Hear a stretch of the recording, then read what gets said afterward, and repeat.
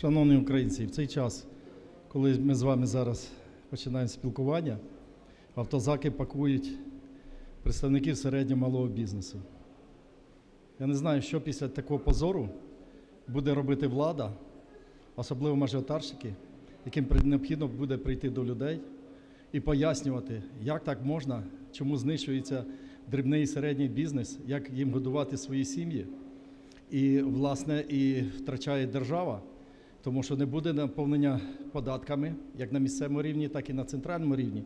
А хто буде відраховувати кошти ЄСВ, пенсійний фонд і фонди соціального страхування? Тим часом ми бачимо заборгованість заробітній платі, яка продовжує зростати вже більше 4 мільярдів. Це те, що офіційно показує Держстат. Але в реальності, коли е, існують такі ганебні явища, як виплата зарплати в конвертах, як е, домовленість е, по ініціативі роботодавця з найманим працівником про неоформлення е, при виконанні робіт, і ми просто не уявляємо, яка там існує заборгованість. Крім того, на підприємствах вугільної промисловості заборгованість сьогодні складає 1 мільярд 450 мільйонів гривень. А через декілька днів, коли буде нарахована заробітна плата, місячний фонд за січень місяць, заборгованість сягне більше 2 мільярдів 100 мільйонів. Шахтарі і їхні сім'ї, і жителі шахтарських міст не можуть забути того, як е, 17 грудня минулого року слуги заблокували законопроект у моєму авторстві. І, власне, там е, кілька співавторів було в цьому законопроекті, де було чітко передбачено виділити кошти на виплату зарплати шахтарям. Для того, щоб власне цю заборгованість погасити, шахтарі могли сплатити за комунальні платежі.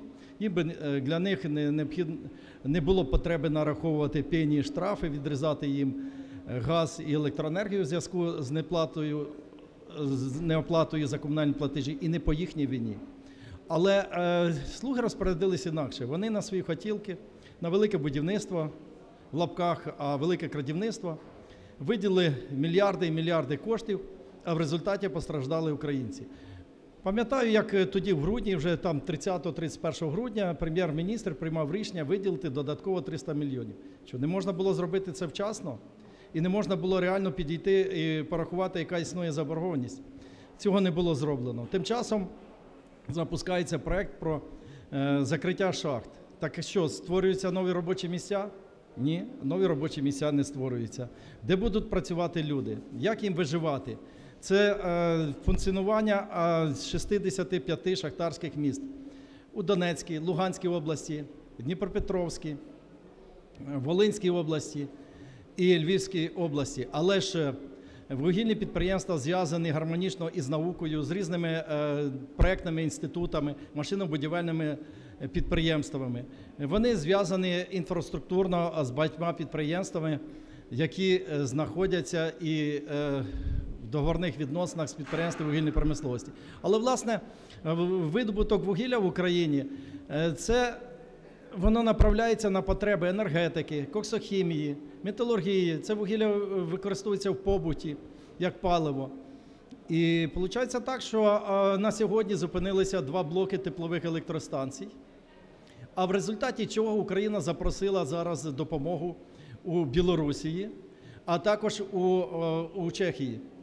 Шановні друзі, в нас є величезні профіцитні потужності для вироблення власної електроенергії, але впродовж багатьох років, починаючи з 2019 року, все здійснювалося так, щоб зупинити шахти, зупинити теплові електростанції. Я послідовно е, на ц- з цієї трибуни на брифінзі, брифінзі, з брифінгу, е, з, трибуни зали парламенту, з різних е, студій, телеканалів повідомляв про те, що е, та електроенергія з Росії і Білорусі була не потрібна в 2019-2020 році. Що це здійснюється гібридна війна, е, енергетична гібридна війна проти України. Але ніхто не слухав. Натомість я сьогодні від е, НАБУ отримав повістки в суд. Я не знав, що проти мене відкриті чергові кримінальні провадження. З'ясувалося, що це за вказівкою генерального прокурора Венедіктової, яка на 100% є людиною президента Зеленського. Вели слідчі дії, ніхто мене не опитував, не допитував, не інформував. І раптом мені черговий раз необхідно бути в суді. Ви мені, шановні, рота цим не закриєте. Не закрийте рота шахтарям, їхнім сім'ям, представникам шахтарських міст, не закрийте рота фопівцям, е, лікарям, медикам, які сподіваються отримати вчасно зарплату за свою працю, які хочуть жити в спокої і, і мирі. Шановні, ви створюєте внутрішню напругу. Ви не звертаєте уваги, у вас не вистачає розуму подивитися на те, що ви напружуєте соціальну, е, соціальне середовище не тільки в шахтарських містах, не тільки на сході, це відбувається і на заході. І я це щоденно чую.